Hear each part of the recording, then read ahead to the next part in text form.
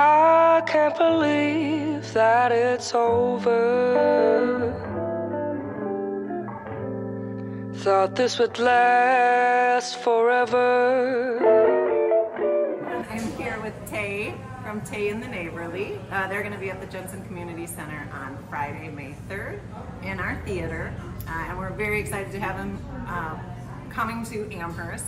And I just wanted to, I actually met up with TAE and Andy, who we will see in another video, in Little Chute at a coffee shop called Seth's Coffee. And wanted to ask a few questions just to kind of get to know you. So, are you ready?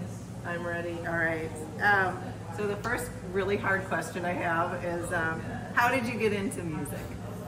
Um, I feel like I've been singing as long as I've been having memories. Um, I feel like I was always a really shy kid, and I still am generally pretty shy. Um, and I feel like, you know, I'd spend my whole day being quiet at school and then, you know, be loud and sing at the top of my lungs nonstop once I got home or like in the shower. And uh, I always would sing with my cousin, and for a good chunk of our childhood, we, we lived at our grandmother's house um, with our moms, and she had a fireplace there, and we would put on like freestyle shows where we would sing on the mantle, Uh-huh. and I feel like that was kind of The start of it all. ignition. Uh-huh. Yeah. Yeah. All right. Ready to roll? All right, let's rock. You don't need to ask permission from anybody but yourself. A little guidance of self-help. So it sounds like you have a busy next month or so, and then you're taking a break. Why is that? Well, you can't exactly see this giant mass on my stomach right now, but I will be having a child.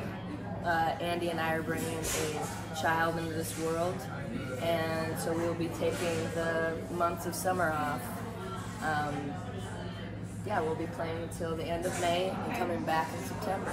So that means if you want to see TAE in the Neighborly before the summer, you need to come to Amherst Yeah. to th- see this show. Get so there will hot. really be how many people on stage then?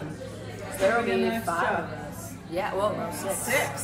Six. You'll have an extra band member. One there. invisible, partially invisible.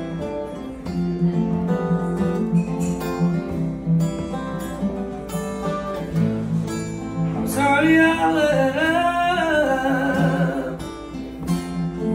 I know that I promised. Me you held your trust. Now you caught me running from all, all the favors that I never gave. So TAE, have you ever been to Amherst before? I have. I've played there a few times actually. Um, one of the most memorable times was uh, my friend Genevieve Hayward and I. We were doing just kind of like a duo type tour around Wisconsin, and we threw a show at the Ruby like roast warehouse. Type Okay, in space. Nelsonville? Yeah.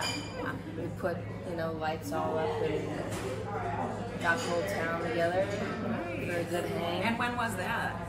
Man, that would probably be maybe 2018 or 19. Okay. Yeah. Feels like it's Okay. been a. Was that while. before you had the band? That was Yeah, yeah. That, that would have Okay. been pre-band. No, no, no, I have learned that the love you gave to me will carry us.